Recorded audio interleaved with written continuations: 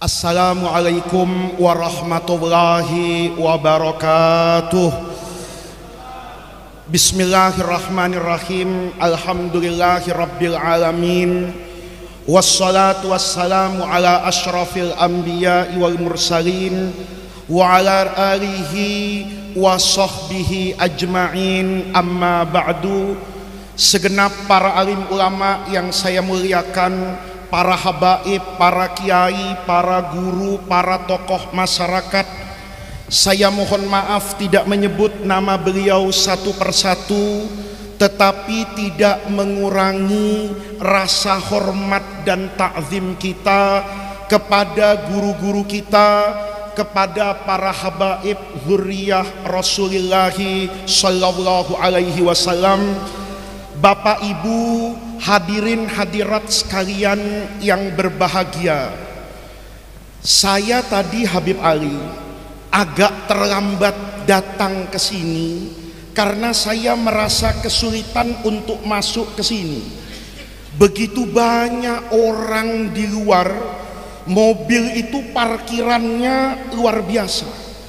Hati saya itu bertanya ini orang-orang ada apa ya berkumpul rasanya calon gubernur ndak ada calon presiden sudah selesai.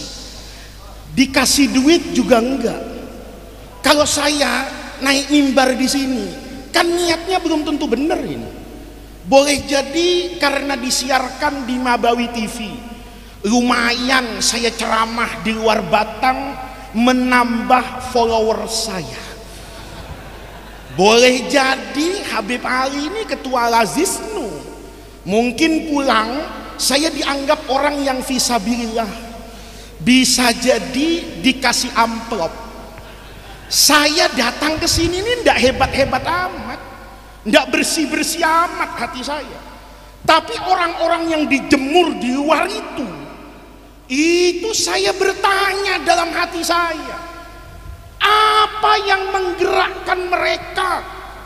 Saya kemarin di Jawa Tengah, Habib, dibikinin maulid, ya kalau bahasa anak sekarang sadis juga.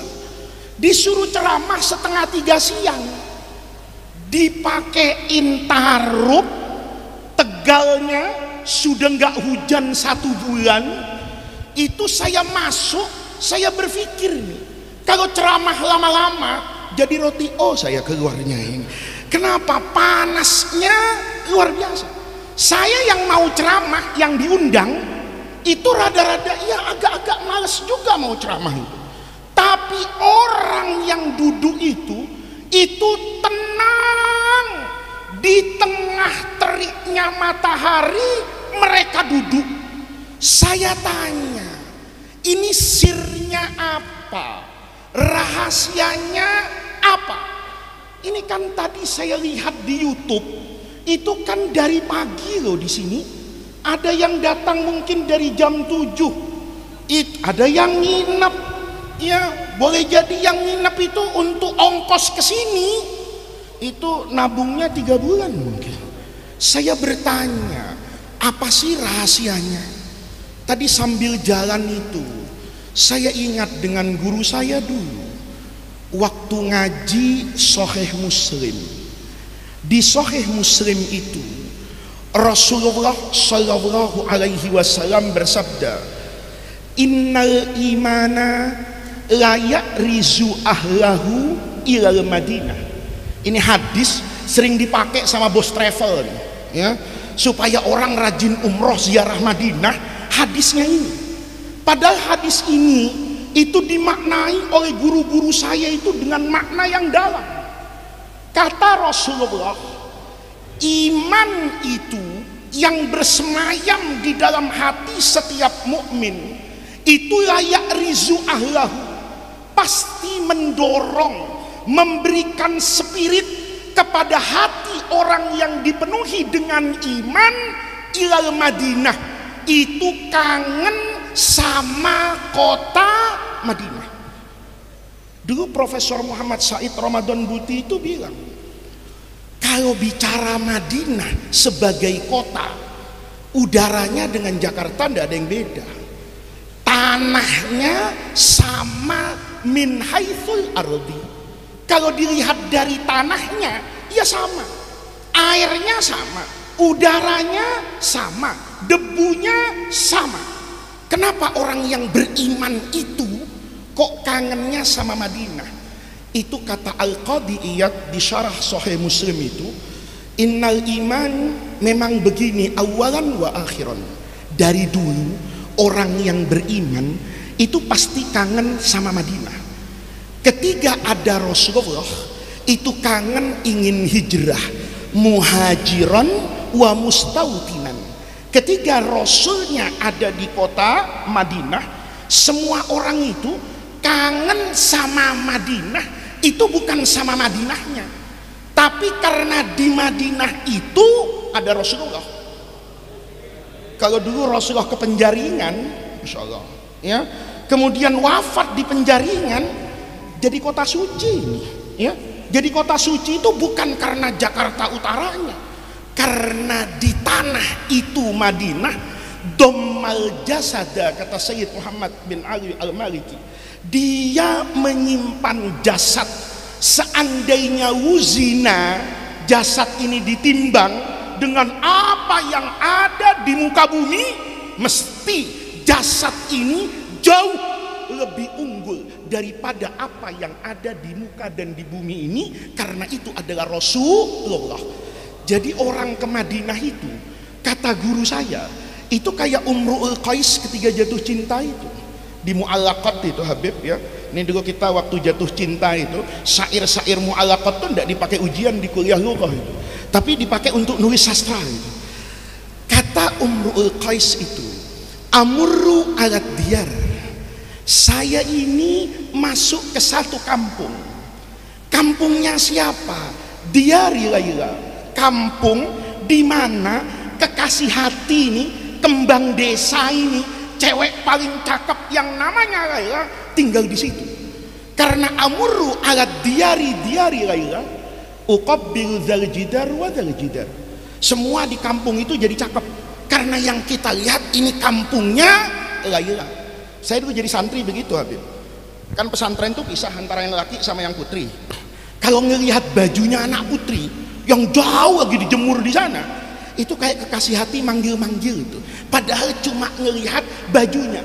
Amurru alat diari diari laila uqabbilu zal jidar wa zal jidar. Saya ciumi semua yang ada di kampung itu. Ada pintu saya cium ada pohon kelapa saya peluk. Itu bahasa balaghahnya itu bukan hubbud diyari saghafna qalbi. Saya bukan cinta tergila-gila sama kampung itu tapi walakin hubbu man sakanat dar. Karena di dalam dar itu ada kekasih saya. Itu kata qadiyat yang membuat orang tuh kangen sama Madinah. Begitu Rasulullahnya wafat orang kangen sama Madinah jadi dua. Kangen sama Rasulullah maka simbolnya makam. Nih ini kan ada orang sekarang asal bilang makam jatuhnya musyrik.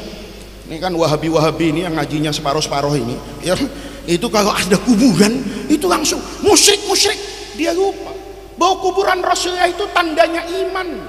Saya berdiri di depan makam Rasulullah bertawassul dengan Rasulullah itu kata semua ulama lintas madhab itu min afdalil kurban saya berdiri depan makam Nabi itu karena saya kangen sama Rasulullah. Saya peluk itu makam saya usap itu tembok karena saya tidak bisa cium tangan sama Rasulullah. Seandainya tangannya bisa saya cium tentu bukan jendela itu yang saya impikan. Itu kata Qadiyat setelah itu lama-lama kepengen ketemu Sayyidina Abu Bakar. Kenapa ingin ketemu Sayyidina Abu Bakar? Saya ingin cium tangannya Sayyidina Abu Bakar. Karena tangan Sayyidina Abu Bakar itu pernah mencium dan bertemu dengan tangan Rasulullah. Saya perlu menatap matanya Sayyidina Umar dulu. Karena matanya Sayyidina Umar Itu pernah menatap matanya Rasulullah. Matanya Rasulullah menatap Mala ainun ro'at Wala udhunun sami'at Wala khatara fi qalbil bashar. Sayyidina Umarnya wafat maka generasi tabiin terus kepada para ulama wahakadha sampai ila yaumina. Guru saya bilang kalau kamu nanti pulang ke negerimu kita kan orang Indonesia pulang ke negerimu dulu iman itu dilambangkan dengan kangen sesuatu yang berkaitan dengan Rasulullah rumahnya Nabi, masjidnya Nabi, kampungnya Nabi, sahabatnya Nabi, muridnya Nabi, keluarganya Nabi. Maka nanti kalau sudah pulang, kata guru saya, di mana ada peringatan maulid itu kamu datang. Di mana ada zuriyahnya Rasulullah itu kamu tatap. Karena itu tandanya adanya iman di dalam hati. Pengajian kayak gini kan bukan cuma maulid. Tablik akbar juga kayak begini. Pengajian rutin juga kayak begini. Tapi kenapa hari ini itu seperti ada magnet yang berbeda karena temanya nempel sama Rasulullah Shallallahu Alaihi Wasallam. Coba ganti. Nih Maulidu Muhammadin Shallallahu Alaihi Wasallam penuh. Ganti sama-sama Muhammad. Maulidu Muhammad Faiz Sukron Makmun kagak ada yang datang Padahal sama-sama karena tidak nempel sama Rasulullah. Hari ini nempel sama Rasulullah. Kita tadi membaca begitu banyak puji-pujian. Itu kan sama Pak kata Syed Muhammad Maliki itu. Orang yang baca maulid tadi itu itu mirip dengan orang yang beribadah haji. Tapi yang dipotong nih. Ya, bisa dipotong-potong. Fatwa Ketua Umum Majelis Ulama, Maulid Nabi sama dengan haji. Uh, yang nyebarin pak saya rendem pakai rinso tujuh hari ini bukan sama logika sama itu kan biasa dalam agama. Kata Rasulullah mantato harofi baitihi dia wudhu di rumahnya kemudian sholat dua rakaat di masjid Kuba itu pahalanya sama dengan pahalanya umroh. Itu persamaan saja. Kalau bapak lihat ibadah haji itu kan mengenang sejarah masa lalu Tawaf itu maknanya apa? Sa'i itu maknanya apa? Romyo Jamarot itu maknanya apa? Mina itu ada sejarahnya, Arafah itu ada sejarahnya. Itu sejarah dulu Nabi Ibrahim kita hidupkan hari ini. Sejarah Nabi yang sudah lampau itu kita hidupkan pada perayaan Maulid Nabi besar Muhammad Sallallahu Alaihi Wasallam. Maka datang ke perayaan Maulid ini, Pak, itu bagian dari iman. Mencintai keluarga Rasulullah itu juga tanda kebersihan hati. Orang nanya sama saya, itu Faiz ikut mazhab mana? Ya, mazhabnya ikut mazhab siapa? Saya itu Bapak Dulu ngaji sama guru saya juga. Kata guru saya, al arwahu junudun mujannadah. Daleman orang, hati orang itu, itu nanti berkumpul sesuai dengan setelan pabriknya kata orang sekarang. Kalau setelan pabriknya itu mobil solar, ya barisnya sama truk pak. Karena mau ngisi apa itu? Solar. Kalau mobilnya diisinya memang sampai pertamax turbo atau dieselnya itu yang Dex itu kumpulnya sama Land Cruiser. Kumpulnya sama Lexus. Itu al arwahu junudun mujannadah. Daleman kita itu pak kayak tentara yang baris tuh. Angkatan darat kalau upacara itu yang bajunya hijau ngumpul hijau angkatan laut putih putih. Polisi coklat coklat. Angkatan udara biru biru. Kalau salah barisan nggak enak. Terus saya upacara 17 Agustus tentara rapi semuanya saya sarungan sendirian di tengah-tengah angkatan darat. Rasanya grogi. Kenapa? Beda sendiri. Kata guru saya, kamu nanti dalam hidup itu Faiz, ada dua yang harus kamu perhatikan. Yang pertama ilmu. Al-haq itu yu'rafu bil ilmi. Kebenaran itu bisa diukur dengan orang. Saya sholat subuh tadi kunutan, itu keyakinan saya karena saya percaya dengan Imam Syafi'i. Tapi saya pergi ke Baghdad, melihat guru saya dulu itu tidak baca kunut, saya hormati karena ikut Imam Abu Hanifah. Imam Syafi'i bilang, "An-nasu fil fiqhi iyalun li Abi Hanifah." Kalau bukan karena Imam Abu Hanifah, saya ini bukan apa-apa kata Imam Syafi'i. Silahkan karena yang diikuti Imam Abu. Persoalan nasab itu kalau saya sederhana, Pak Saya itu tadi karena Kiai Muhyiddin nyebut-nyebut NO. Saya itu lahir sudah NO. Karena bapak saya NO. Maka saya lahir itu NO. Saya nanti juga ingin yukhsyar itu kalau ditanya, alamat habiman anta? Saya ingin jawab alamat habil imam Imam Kiai Haji Hashim Ash'ari di Jombang. Nanti ditanya sama mereka, kok ndak ikut Quran hadis? Ndak ikut kata saya. Karena saya takut salah memahami Quran. Saya pahami Quran itu dari Ash'ari. Kiai Hashim Ash'ari memahami Quran itu dari gurunya Imam Nawawi Al-Bantani. Imam Nawawi Al-Bantani itu belajar fikih dari Syekhul Islam yang alim di Mesir namanya Ibrahim Al-Bajuri. Selesai ikut ke atas. Saya soal ribut-ribut itu Pak gampang. Lihat kiai-kiai besar di Indonesia, lihat ulama besar di dunia. Saya jujur Habib Ali itu pasti mengenal betul. Ada dua orang Pak yang cukup memberi pengaruh kepada logika keagamaan saya. Satu itu sehari Jum'ah di Mesir Grand Mufti.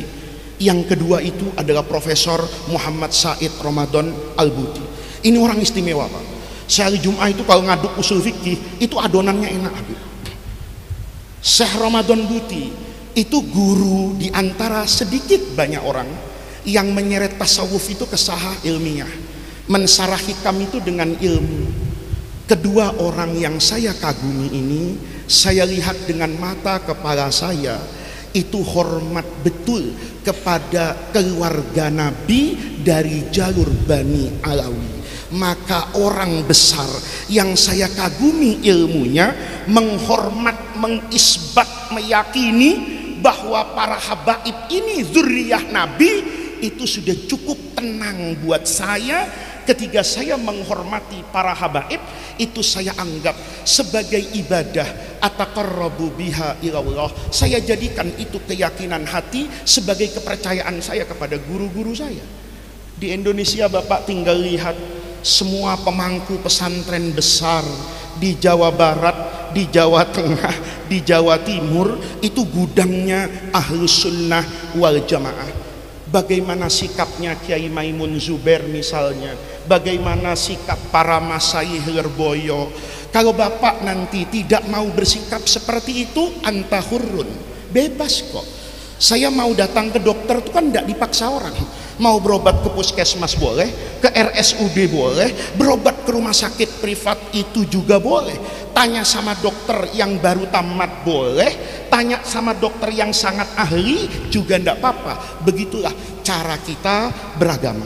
Ini maaf sudah lebih dua menit rasanya pesannya sudah cukup. Mudah-mudahan kita yang berkumpul di masjid luar Batang ini dalam perayaan Maulid nanti dikumpulkan bersama Rasulullah Shallallahu Alaihi Wasallam di dalam rahmat dan ridho Allah fil firdausil a'la. Mudah-mudahan Allah jadikan jam'ana hadza jam'an marhuma. Wa tafarruqana min ba'dihi tafarruqan maksuma mudah-mudahan hadirnya kita di majlis yang baik ini menjadi tawassul dan wasilah dari kita agar kita semua terjaga dari paham-paham yang menyimpang dari tradisi guru-guru kita. Mudah-mudahan kita diberikan sabat ala tariqah tariqah yang diridhoi oleh Allah tariqah yang ditempuh oleh aslafuna guru-guru kita min ahlil ilmi wal wara. Terima kasih atas kesempatan yang diberikan. Mohon maaf atas segala kekurangannya. Wallahul muwaffiq ila aqwamit tariq. Wassalamualaikum warahmatullahi wabarakatuh